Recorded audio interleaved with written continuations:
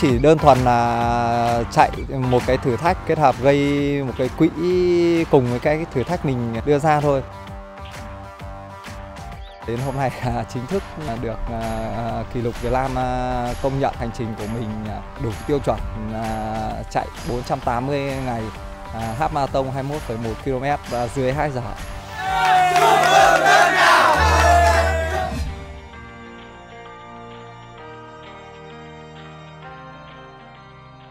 Tròn 9 tháng kể từ khi anh Đào Bá Tuân, một kỹ sư công nghệ, một runner chạy bộ phong trào xuất hiện trong chương trình vượt ngưỡng của chúng tôi với tư cách là người Việt Nam đầu tiên thực hiện thử thách 365 ngày chạy liên tục cự ly bán marathon với thành tích dưới 2 giờ. 9 tháng qua cũng là khoảng thời gian cho sự chờ đợi, hoàn tất hồ sơ trở thành kỷ lục gia Việt Nam, có chuỗi hành trình chạy bộ đầy ý nghĩa, cũng như hoàn thành dự án lớp học cho em, để giờ đây anh chính thức nhận tấm bằng xác lập kỷ lục và là vận động viên đầu tiên tại Việt Nam hoàn thành thử thách 480 ngày chạy liên tục cự ly 21,1 km dưới 2 tiếng đồng hồ. Và đây cũng chính là lý do chúng ta sẽ gặp lại anh Đào Bá Tuân trong chương trình Vượt Ngưỡng phát sóng vào mỗi tối Chủ nhật hàng tuần trên kênh VTV3 của Đài truyền hình Việt Nam. Em thực hiện cái thử thách chạy 365 ngày, à, mỗi ngày một cái à, bán marathon 21,1 km dưới 2 giờ thì em ờ, vẫn duy trì ờ, hàng ngày và ờ, kéo dài đến tận 480 ngày. Em đã hoàn thiện hồ sơ với 480 ngày chạy liên tục bán marathon 21,1 km dưới 2 giờ đồng hồ. Mới đầu thì em cũng không nghĩ gì đến đăng ký kỷ lục đâu ạ. Chỉ đơn thuần là chạy một cái thử thách và trong khi chạy thì mình kết hợp gây một cái quỹ cùng với cái thử thách đưa ra thôi. Còn à, về cái đăng ký kỷ lục này là mãi về sau này em hoàn thành 365 ngày rồi. Anh chị em ở trong câu bộ bảo là à, em đăng ký kỷ lục đi, mọi người à, sẽ giúp đỡ để hoàn thiện cái hồ sơ để đăng ký.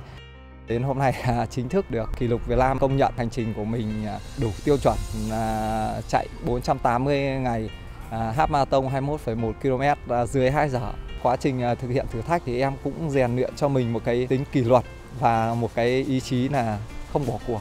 Hiện tại thì em cũng là người đầu tiên khởi xướng ở trong phong trào chạy bộ, coi như là một cái tiền đề để cho mọi người muốn à, làm về kỷ lục thì có thể là đi theo cái hướng của mình định ra.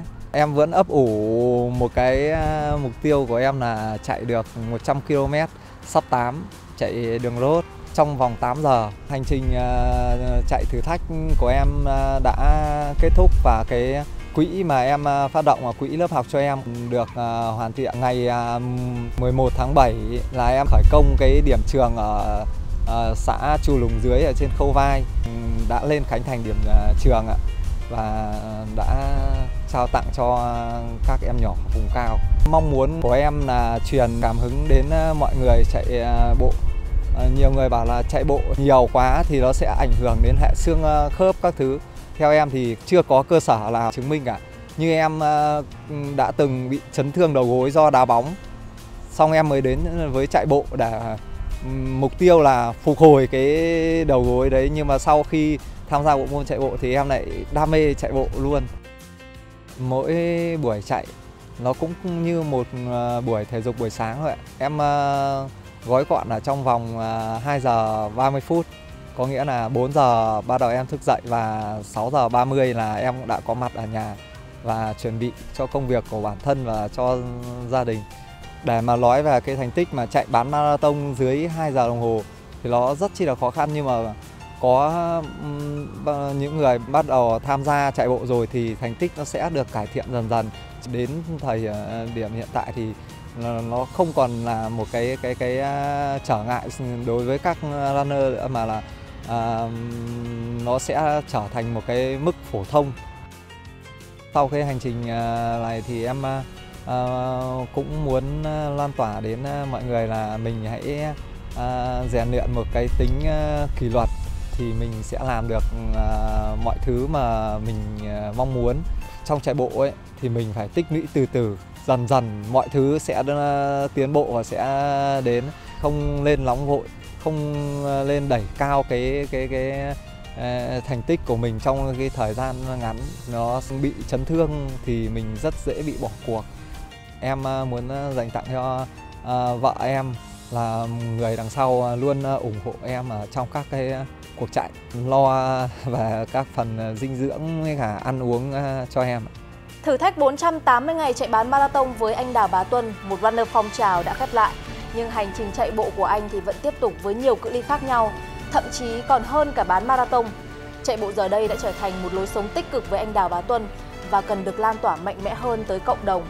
Chúc cho mục tiêu chạy 100 km dưới 8 giờ của anh sớm trở thành hiện thực và tiếp tục truyền cảm hứng tới cộng đồng chạy bộ đang phát triển nở rộ tại Việt Nam. Cảm ơn quý vị khán giả đã quan tâm theo dõi chương trình ngày hôm nay. Xin kính chào tạm biệt quý vị. you